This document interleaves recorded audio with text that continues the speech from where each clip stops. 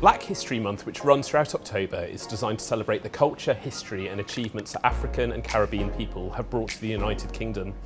The Council is committed to supporting small businesses in the borough and believes that supporting black-owned businesses today is more important than ever as many continue to recover from the economic losses caused by the pandemic.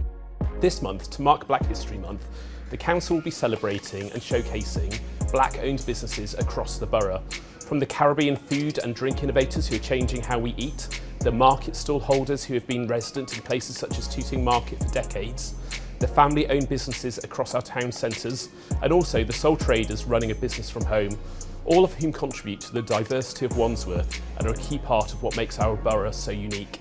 One such business is Mixed Blessings Bakery on Mitcham Road in Tooting, which was founded by husband and wife Neelan and Vicky Bennett 26 years ago, which they now run with their daughter Nat. In the 70s and 80s, Mixed Blessings was once home to the Tooting music scene, recording studios which hosted some of the biggest names in the business. On the 16th of October, Mixed Blessings will be unveiling a blue plaque to commemorate TMC's contribution to reggae music. We are promoting offers and discounts that a number of black businesses have created during the month across across social media, highlighting stories of black entrepreneurship and innovation in the borough on our Wandsworth Enterprise Hub, hosting a celebration of black enterprise in the borough with a panel discussion event and reception hosted by the BBC presenter Jacqueline Shepherd, featuring business owners past and present on October the 21st at Battersea Art Centre.